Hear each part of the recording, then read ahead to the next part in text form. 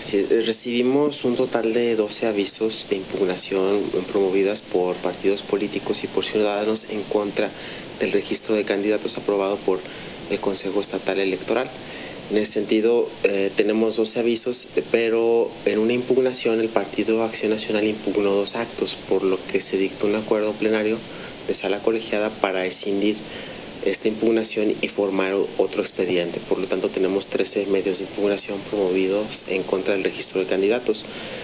Eh, son promociones por militantes del Partido Acción Nacional, eh, por el Partido Acción Nacional también tenemos algunas impugnaciones y una por el Partido Verde Ecologista de México. Respecto de los militantes de Acción Nacional, el punto común de todas estas impugnaciones es que controvierten eh, la conformación de las planillas de distintos ayuntamientos en razón de que, según ellos, no satisfacen requisitos de elegibilidad de acuerdo con los estatutos del Partido Acción Nacional.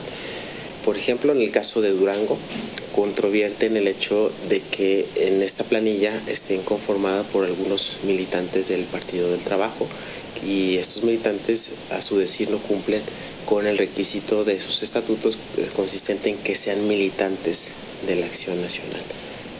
Y así hay algunos controversias eh, relacionadas con ese tema del cumplimiento de requisitos de elegibilidad en términos de los estatutos.